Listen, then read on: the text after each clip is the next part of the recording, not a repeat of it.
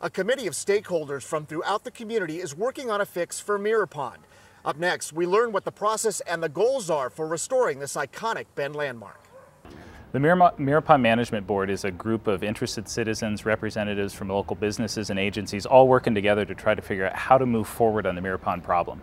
We recognize that the problem is very complex, has a number of different facets, and really this group has gotten together to say how can we collectively figure out a common solution to move Mirror Pond forward. And a lot of people move to Bend because of Drake Park, and it's just a beautiful scene. And so we need to make sure that we do our homework and do what's right for Mirror Pond because it'll be here for many, many years, and it really has become the icon of Bend.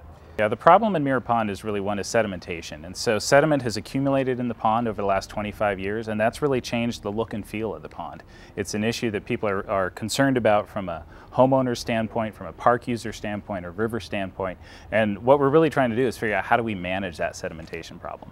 There's a number of steps that we have to go through. Number one, we have to do an environmental impact study that we didn't have to do um, 25 years ago when the last time it was dredged. And so this is going to take us probably a year and a half to two years to figure out how to fund that. It's projected right now to cost somewhere near a half a million dollars. And then after we get the environmental impact study done, then we can formulate and start working on what's the best issues. Do we dredge? Do we do a combination of dredging and management of the edges and uh, things like this? Yeah, at this point, what the Mirror Pond Management Board is interested in doing is developing a suite of options to really understand what are the bookends. What can we do on this end of the spectrum? What can we do on the other end of the spectrum? And what are the options in the middle?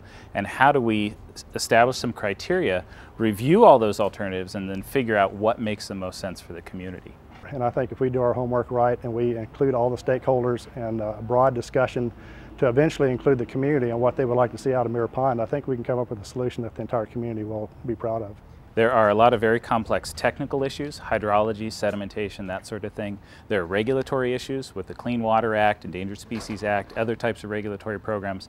There are also a lot of community interests in terms of the users, the homeowners, the property owners, the park users. How do you fit all that together? It's a complex process and it's just going to take some time to work through it my real fear is what's going to happen in 50 years. You know, we're going to have to either keep looking at this problem and it's going to get more expensive, probably more regulations will be written over that period of time. So we've got to look way into the future and how to mitigate the costs and look at it for really the long run.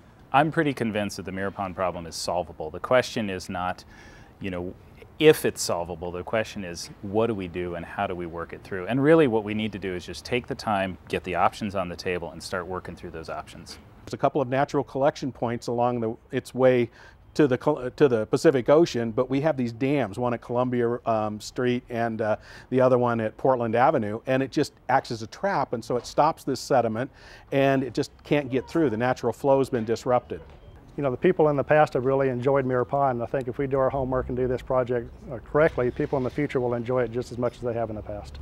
And so I think our ultimate goal is to how do we control the sedimentation in the river? Is this something that we're going to dredge every 20 years or is there something that we can do as a part of the planning process and the construction to uh, change the habits of Mirror Pond so that this is not a 20 year recurring problem?